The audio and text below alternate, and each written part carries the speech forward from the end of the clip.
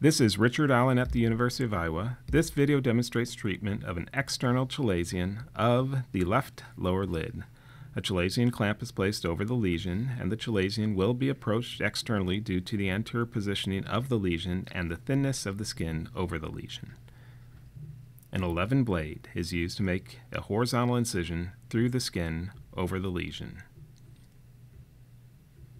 A chalazion curette is then used to gently express any of the interior portion of the chalazion. More adherent material can be excised with Westcott scissors.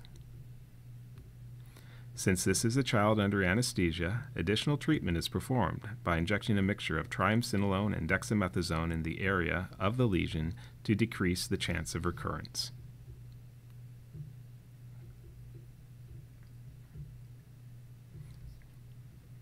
At the conclusion of the case, a combination of antibiotic and steroid ointment is placed over the area, and the patient will follow up as needed.